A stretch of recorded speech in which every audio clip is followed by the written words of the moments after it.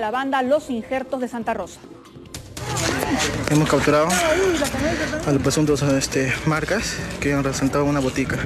Fueron capturados en el preciso momento en el que intentaban asaltar una farmacia en el distrito de Santa Rosa, vestidos de trabajadores de Sedapal. El nombre, el nombre completo, fuerte claro. Joel Molina, Tomás. Tomás. ¿Cuántos años? 28. Estos cuatro sujetos, quienes aparentan ser unas mansas palomas cuando se encuentran reducidos por la policía, son los injertos de Santa Rosa, una temible banda delincuencial que tenía atemorizados a los vecinos y emprendedores de la zona norte de Lima.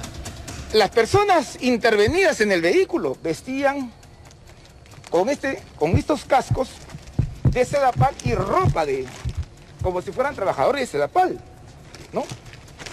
Haciéndose los interrogatorios indican que, que trabajan en este service para Sedapal. Está en proceso investigatorio a fin de esclarecer si trabajan o no trabajan.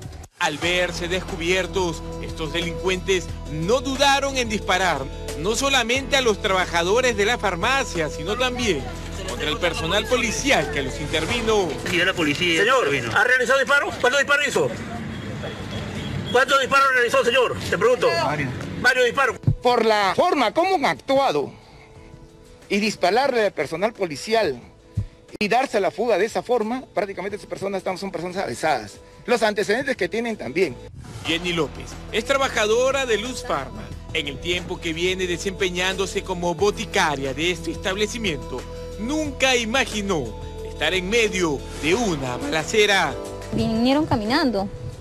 Según hemos visto y revisado también por las cámaras, ellos ingresaron caminando y fueron dos. ¿no? Y en las imágenes se puede ver pues, a estas personas que eh, no ingresaron, pero de la puerta dispararon, ¿no? Fueron varios disparos, más de seis se podría decir, eh, y pues destrozando ahí el local. Las cuatro personas detenidas fueron identificadas como Elmer Molina, Luis Miguel Contreras, Pierre Montalvo y John Chacón. Todos ellos fueron trasladados a la Dirincri de Puente Piedra para que continúen las investigaciones. En Surco una adolescente